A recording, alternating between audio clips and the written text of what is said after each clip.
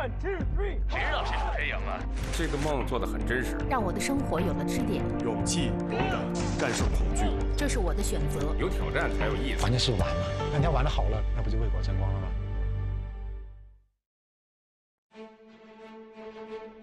艾迪塔罗德狗拉雪橇比赛，它是世界上难度最大的冰雪户外顶级赛事，也是当今为数不多的人与动物配合的赛事。因为它的赛事线路基本上是在极其寒冷的冰雪无人区阿拉斯加腹地，被称为这个星球上最后的伟大征程。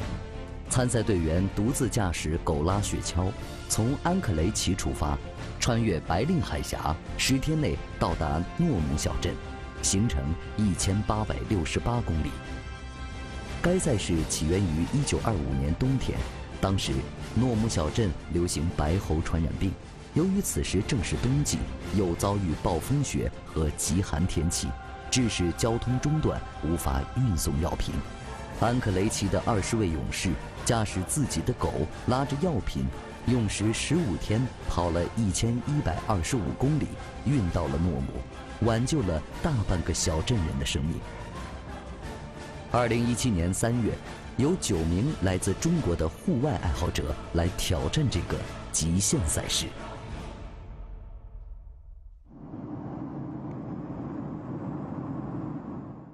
画面中这些走出机场的人，就是要挑战这次狗拉雪橇赛事的中国选手。中国人能到这里参加比赛，先从手续上来说，就花费了大量的时间和精力。这个赛事委员会的支持。能够让史无前例的这样的一次这个探险的旅程能够得以得以这个实现。我是这个设计这个项目，准备这个项目，然后来到这儿考察，联系了各种人，真的忙活了有一年零四个月的时间。先感谢你，对对对，先感谢我。对在座的有不少朋友跟我们去撒哈拉，然后也知道说一些户外的体验啊，然后一些团队的这种啊这种协作的重要性。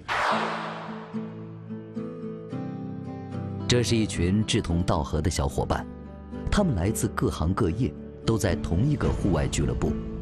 他们彼此了解，彼此信任。这个这就是呃提夫沙山口嘛，所以两边是悬崖，会从那个两条车道的左左边那条车道，然后这么着开上去。加油加油加油加油加油加油！六号车加油加油加油！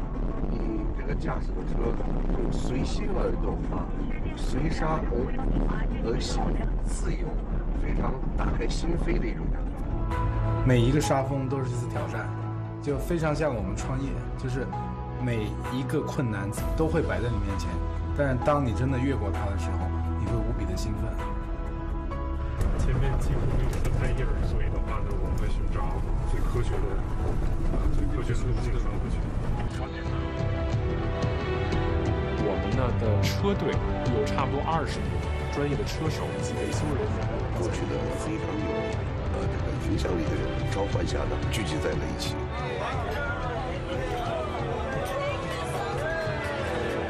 我们有各种各样的备用方案，然后来帮助大家度过各种各样的难关。然后回头看的话呢，这也是一个非常有意思的经历。西威家庭他们是这个真的是冠军世家，他们祖孙三代都都曾经赢得，还多次赢得伊迪塔罗德的这个冠军。然后在他们今年还父子同时参赛的情况下，他们把很多最棒的狗，然后留给了咱们这一行队伍。If we see that forecast coming, and and we wake up in the morning, there's the wind. and you know we will uh, we will not go out on the dog sleds. We, we want to avoid the, the very terrible conditions. 对，所以就是说，当这个环境过于极端的时候，我们就会进行一些调整。Yeah. 如果不出问题，这个行程到就是到完，如果不出问题，是不可能的。王领队说的“不出意外”是不可能的，这是什么意思？意外？指的又是什么意外呢？每个队员心里都有了变化。这个安克雷奇呢，算是它的这个最大的经济都市海港，然后狗拉雪橇的培训今天就正式开始了。西威兄弟都是狗拉雪橇的高手，当地最有名的冠军家庭。这些可爱的阿拉斯加雪橇犬就是这次赛事的比赛用犬，它们生性善于奔跑。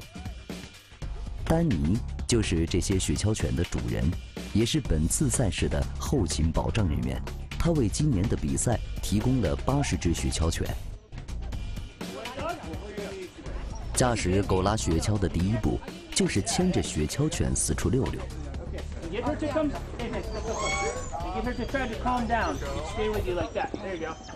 牵着雪橇犬遛弯儿，对于汪东风来说是最高兴的事儿了。他非常喜欢狗。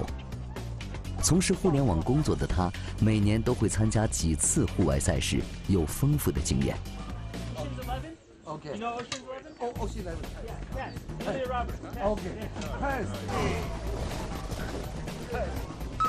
这些雪橇犬是经过训练的，听得懂口令。雪橇犬作为工具犬，死伤的几率很大。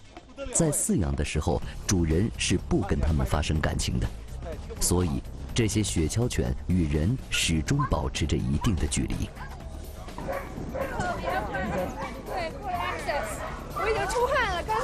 冷，现在觉得好热。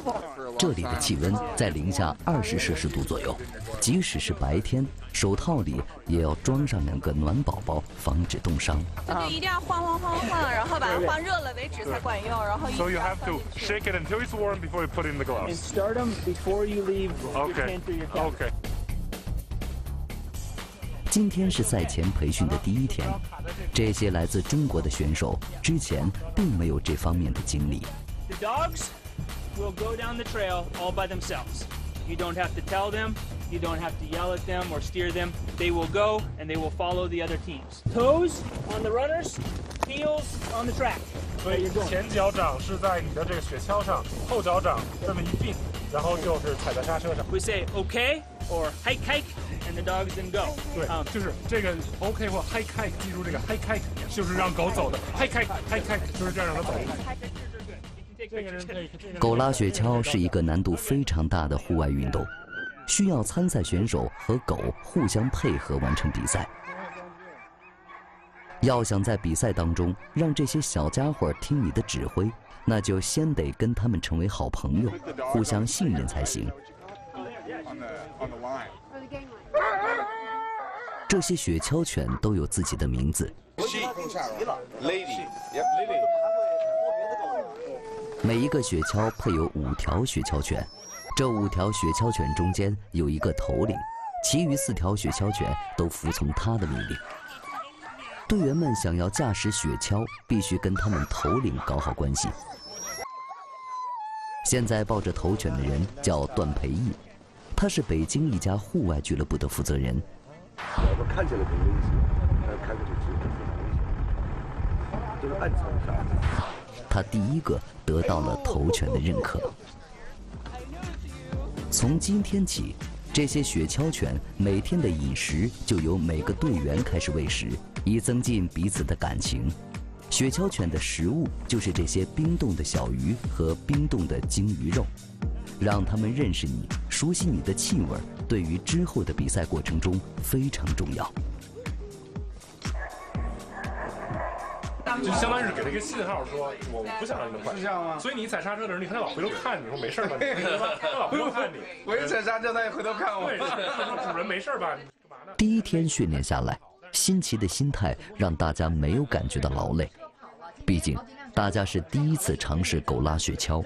相互介绍经验，占据餐后讨论的主题，还是丹尼父子的两把吉他，让大家达到了今晚的兴奋点。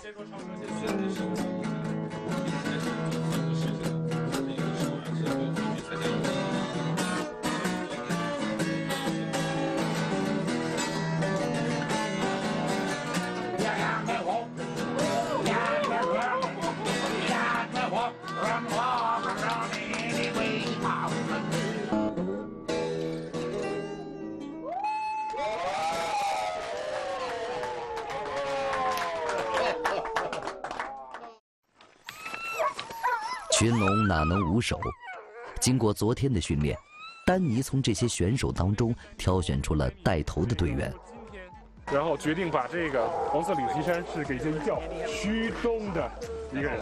对他昨天说有一个叫徐，这个叫徐东的人是一名艺术工作者，喜欢独来独往。选他当头领的原因，估计是丹尼看出来他的户外经验是九个人中最丰富的。我昨天我听到一个其实挺让我动容的这么一个关于狗的事情。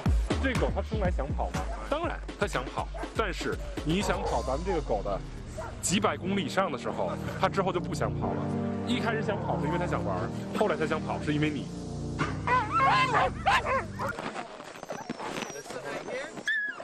给狗拴绳子，这是基本技能。在比赛过程中，没有人会帮助你。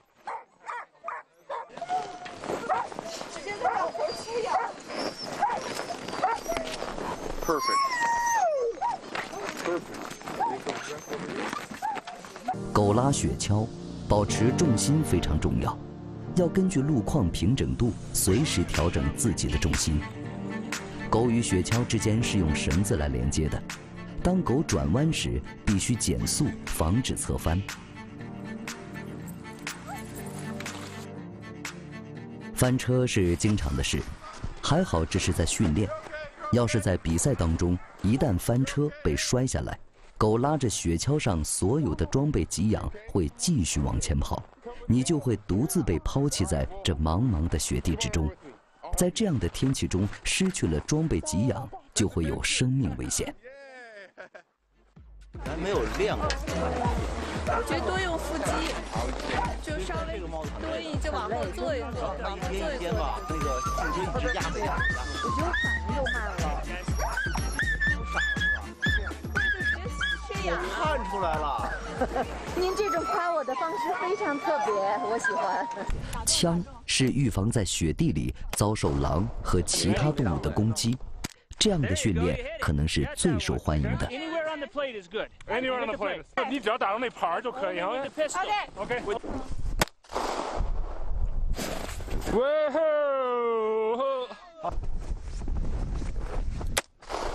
哇哇！刚才打的那个枪，气枪，然后打子弹，第六发中的。其实训练的时间还是挺短的，更多的是有这样一个狗拉雪橇的这种入门的这样的一种培训，跟狗的这样的一个接触，狗它是什么样的一个习性，我们如何能够跟它配合，那么如何能保证狗的安全以及人的安全？真正挑战我们和成长的是在赛道上的时候。累，漫长的一天，中午连饭都没吃。今天摔了，但是狗没跑，狗被我抓住了。今天就摔了一次。像你们很多人都都撞了好多次车，但是你们每个，但你们所有的人都穿出了那片树林，有大大的微笑在脸上。Good job，干得漂亮。两天的训练非常大强度，消耗了队员们的所有体力，几乎精疲力尽了。明天比赛就开始了，丹尼今晚请来自中国的队员们去自己家做客。考虑到中国人的饮食习惯，丹尼的父亲还专门请来了厨师，炒了一个类似于三丁的中国菜。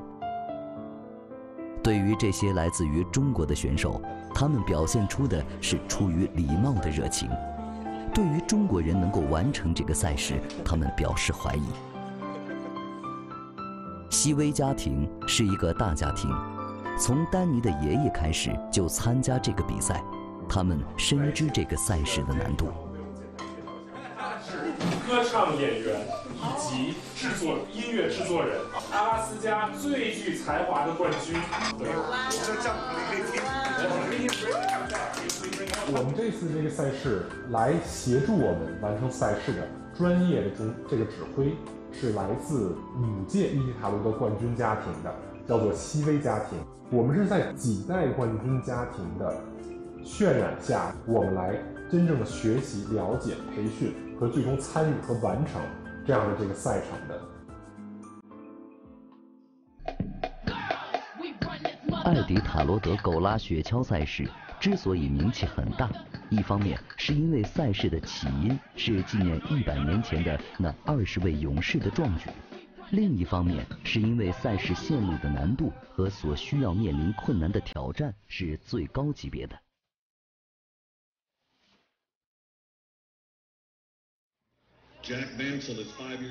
每年的这个时候，这里就如同过年一样热闹。不光是这里，整条赛事线路上的小镇村庄都会期待着那些勇士的到达，给他们以最高级别的礼遇，为他们加油。这几乎成为了这里的传统。这些人是真正的艾迪塔罗德狗拉雪橇比赛的参赛选手，他们都是雪地户外运动的精英，他们是经过评审后才允许参加本次比赛的。参赛资格的审定非常严格，选手必须之前参加过三百公里、五百公里和一千公里以上的全球知名的几大狗拉雪橇赛事。并取得了一定成绩的，才有资格参加。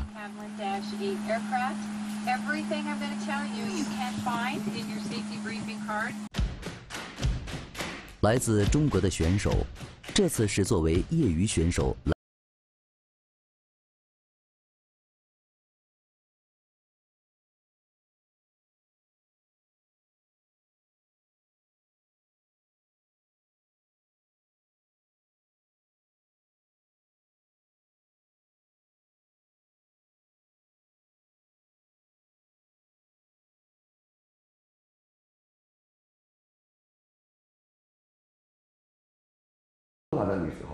他们就在想：哎，这些中国人只不过是想来这试一下。他们开始打赌，哎，我们来赌一赌，这些人走到什么时候就会打铺盖回家。没有一个人赌我们能走到终点的。中国队员的起点在冰河里，他们没有出发仪式，也没有当地人的欢呼雀跃。他们有的只是对能够坚持完成比赛的信念和只培训了两天的狗拉雪橇操作技术。第一天的赛程在冰河上，道路平坦，没有较大起伏，难度很小。但是越往北，天气越寒冷，条件越恶劣。现在的气温是零下三十多摄氏度了。而且罕见的极寒天气还在几百公里后面，正等着他们的到来。这一切对于来自中国的队员们来说，困难才刚刚开始。跟我的是五个女孩的队伍，所以他们吃东西的样子都很温柔。Not you。及时的给雪橇犬补充食物，是为了保证它们的体力，但是。队员们补充体力的食物，只能是用路边的冰雪泡方便面来充饥了。其实，在零下四五十度，你把水烧开，可能花费的时间呢，都比你正常的温度要长得多了。嗯，那两百斤熟了吗？里边是脆的，凉不凉啊？里边是脆的，现在是。撕开，哎，待会儿个泡上了，汤已经变得开始发凉了。我们基本上每天大概是四十英里的路，正常情况下呢，应该没有太大问题，因为我们是在冰面上奔跑，厚厚的雪，所以它里不会有很坚硬的石块，但是还是有冻伤的，然后包括小蹄子上裂了很深很深的口子，很让人心疼。零下三十几摄氏度的低温，人和狗都很容易冻伤。为了防止这些雪橇犬的爪子冻坏，必须每天晚上给他们擦防冻膏，再穿上绒布小鞋子，铺上小毯子，以抵御夜晚的极度寒冷。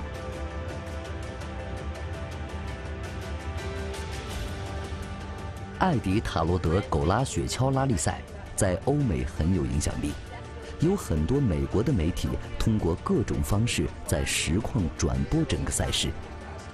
在这个小村子里的学校，通过电视转播，队员看到了那些专业队员的排名和用时配速。那咱们从这儿出发吧。控制速度。Make it smaller again. The next one to the left is GPS track. 这是 Dallas，这是 Dallas，Dallas，他能看到他的时速，现在是八点七，对，就基本上跟我们训培训的那个速度是一样的。昨晚的暴风雪过后，气温下降到零下五十八摄氏度，这是阿拉斯加十年不遇的极度严寒天气。看似晴朗的天气，伸出手五分钟就能冻伤。一杯滚烫的开水泼向天空，瞬间就变成了一颗颗冰粒。在如此低温的环境下，队员们每天驾驶雪橇十个小时，对体能绝对是一种挑战。一开始的真的不知道自己在做什么，从第一次连牵一只狗都牵不住，都恨不得会在踉踉跄跄的来牵着狗，然后到后来的能够自主的把狗靠在这个狗拉雪橇的这种车上，然后到能够自己喂狗啊，然后做很多一些很艰苦的这种工作，跟狗的这种配合不是说你仅仅像上了一辆车，一打火一踩油门就走了，而狗是需要培养一个感情的。而人跟狗这样的感情，人跟团队之间的这样的感情，其实这次赛事中最动人，然后也最不可预料的这样一个元素在。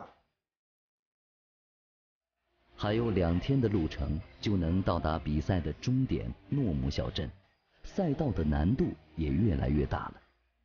穿越原始森林，上坡下坡，队员们的体力已经到达了极限。队员们的每一个动作都变得缓慢下来。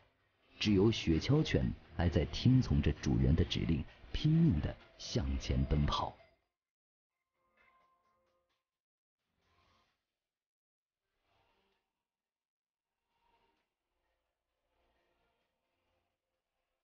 当然，你说有些人想过打退堂鼓，他觉得他的能力已经超出了极限了，但是不舍得走啊，我再试一遍。其实就我再试一遍，我再试一遍。一直试到了终点。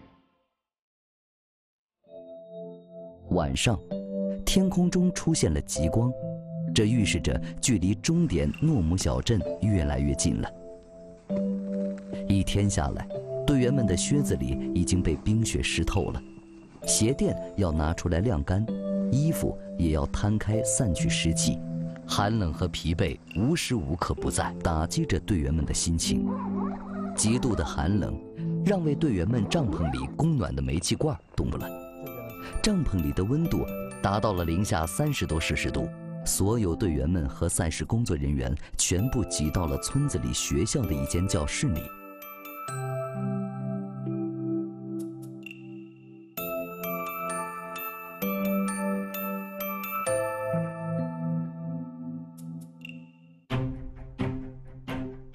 天是第十天。终点诺姆小镇就在前方。坚持，坚持，再坚持，让每一名来自中国的队员没有退缩，没有一个队员提出中途退赛回家。诺姆小镇还没有接待过这样一个中国的参赛队伍，小镇居民的欢迎方式出乎了所有队员意料。当我快到达诺姆，差不多差两公里，我就听着很远的这个嗡嗡的防空警报声。当时我没搞清楚是怎么回事，后来等我近了时间才发现，是那航空警报就把全镇的人都给召集起来了，去欢迎我。在诺姆的小镇，绝对是历史上第一次有这么多中国人来。市长一个七十多岁的老人，整个穿着晚礼服的一个指挥说句：“中国人英雄，中国人英雄。”诺姆小镇半数以上的居民站在街道两旁，为队员们鼓掌表示欢迎。在他们眼里，用狗拉雪橇方式到达这里的就是英雄。他们和这些阿拉斯加伙伴们共同完成了这次征程，此刻，他们也要和这些小伙伴分离了。当最后结束的时候，所有人受不了。没有人会在那个时候